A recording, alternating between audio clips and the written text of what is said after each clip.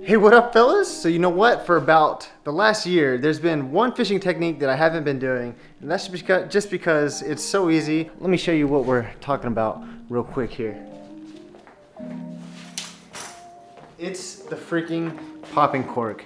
It's just too good. And we're gonna be throwing the DOA shrimp on the bottom of that popping cork. And you know why I wanna go use this? It's because the other day, I was fishing with my buddies, Jeff and Drew, and the, the water was just super churned up. So I figured the popping cork would be a good choice. It, was just so windy, it was, it was hard to throw anything else. And you know what? I caught some freaking crazy fish. I hooked up on a giant redfish inshore. I think it was probably my PB inshore on a lure redfish. It was about, I think it was 36, 37 inches and it was right here on the popping cork. You know with these popping corks, sometimes they're associated with noobs, which can be true. Sometimes you see people at the jetties popping cork and with about this much leader, about two, three feet, and then some dead shrimp on the bottom.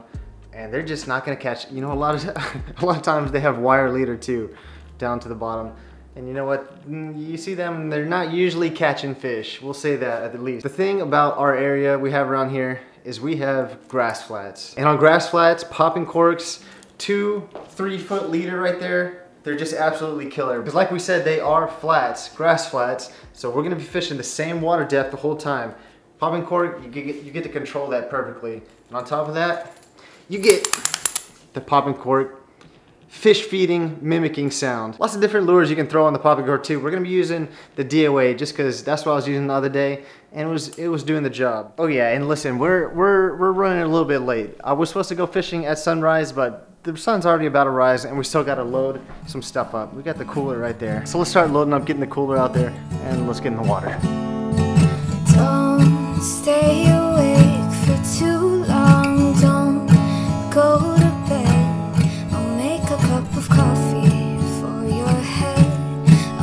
you up and going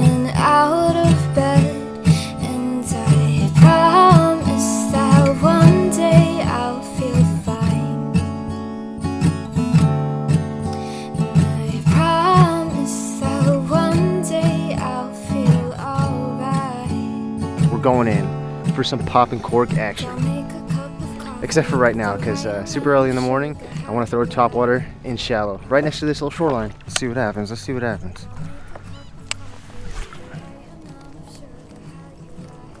Oh, smashed it. I was working it so fast too. Oh, there's a big fish, dude. There's a big fish.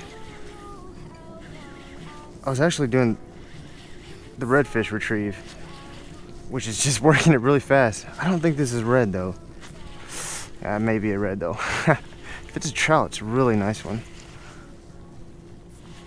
I just had a follow, and I, I the lure was messed up, so it's kind of underwater and I was just jerking around trying to fix it. So I figured a crazy retrieve might work. Oh, it's a nice trout. Let's go. Wow. Let's go, dude. First bite of the day, and it's a decent one.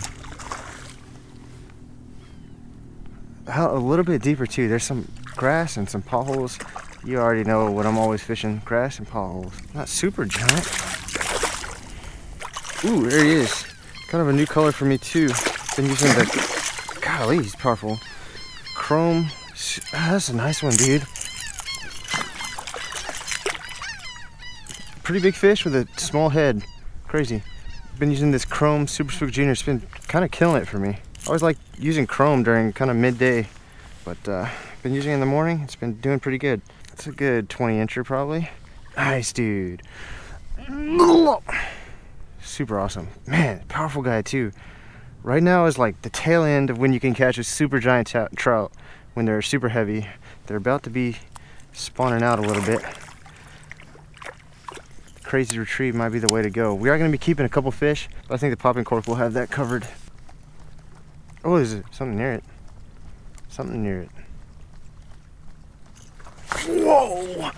That's a big one, dude. This is a big fish. This is a big fish. Bigger than the last one. Dude, same exact spot. And another big fish blows on, up on it. I don't think it's the same one because I think he got the hooks the first time. They usually do not bite twice. Ah, pretty good, pretty good. Not as big as I thought. Man, when you're getting some trout pulling drag, you know you know you're onto a good bite. Look at that. I just increased the drag too. He does have it foul hooked. To be fair. Oh. Dang, that's another decent freaking fish right there though. Man, decent, really decent. That's all I gotta say about that guy. He's just behaving so nicely too. We'll let him go. This is what I'm saying, dude. We could either be fishing the popping cork or we could be getting some crazy blowups on the top water. But look at these conditions, man. These are pretty much the exact conditions you want for an awesome topwater bite. Fishing in the morning with some overcast, sliding a little bit later in the morning. The overcast is gonna just keep the bite going and going. Wow! God, dude, these are all nice fish. These are all nice fish. Oh my God, dude, this is a big, this is a red. Is that, is that a trout, dude? That's a red. Oh my God, dude. I saw him, I thought it was a trout. I was like, he's freaking huge. That's cool though, dude. It's crazy. It must be just reds cruising, cruising through here.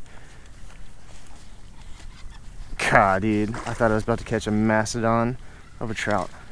But it's always cool to catch a redfish mixed in.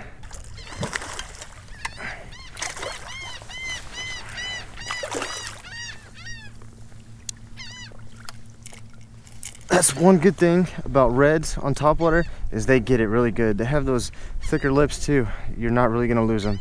And they usually get it on the first strike too. Crazy. Awesome, dude. Look at that huge spot. Very cool. Whew. See, buddy, all these fish are just being very well behaved while I remove the hooks. I'm very proud of these fish. They're growing up to be great young gentleman. I'm sorry, fellas, we're gonna get we're gonna get to the popping cork, don't worry. But right now, this bite is insane.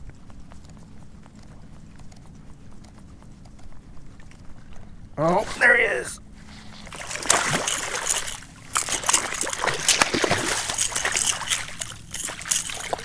Man, that's a nice one, dude. You know what? Let's do. Let's get a let's get a weight measurement on this guy. He's pretty skinny, so maybe not too much. Make your estimates. Give your estimates right now. say that's almost eh, 19, 20 inch fish right there. 275 right there. Not a terrible, not a bad fish. These blowups are just awesome. My God, dude, this is insane. Wow, these fish are just demolishing, man.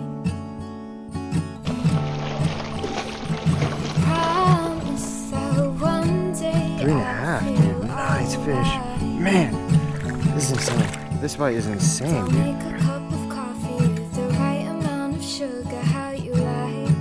Man, insane. That's one of the best topwater bites I've had this whole year, actually.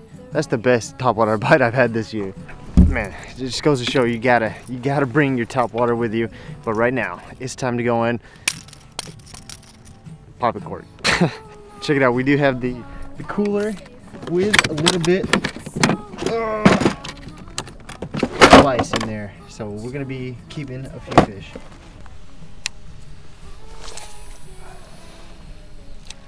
Of course, what this popping cork does, it makes a little bit of a popping noise on top. It kind of sounds like a trout feeding. Maybe a trout blowing up on something, and that attracts the other trout. They think a feeding frenzy is happening, and then they see the cork, but they also see a nice little shrimp under it. There he is. Ooh, I need to tighten that drag a little bit, huh?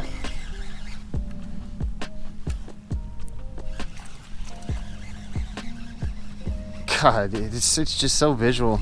It makes it, it's kind of like, oh my gosh, it might be a decent trout.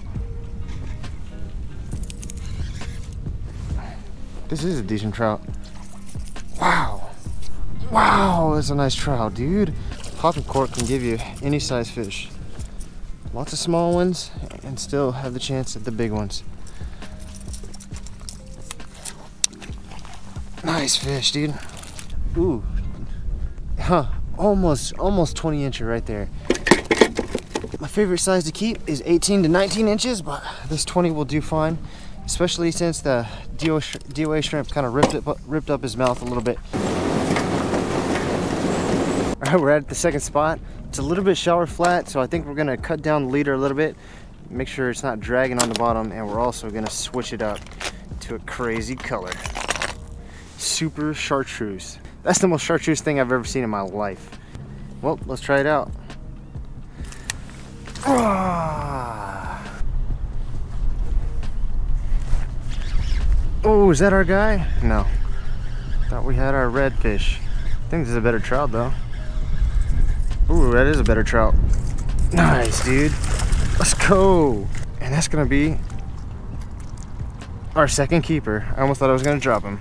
Well, it wasn't the popping cork after all. The top water came in clutch for us today. The popping cork did us get us some fish, but we don't need it. We don't need no dang popping cork. I say that, but I probably am gonna be using it quite a bit this year. But we do have those two fish. Let's go fillet them up.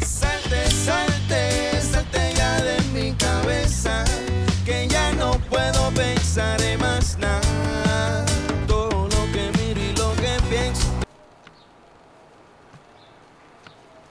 Well, I know you guys won't blame me when I say we're not going to do anything crazy with this fish. Just going to put on a few spices and throw it on the grill because this is all we got.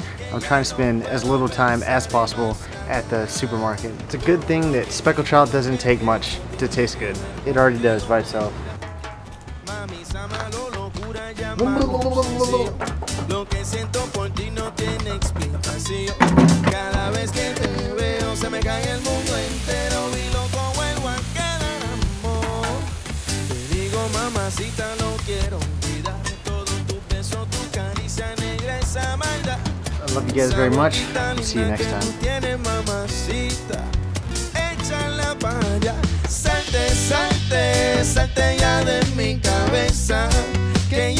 puedo pensar en más nada.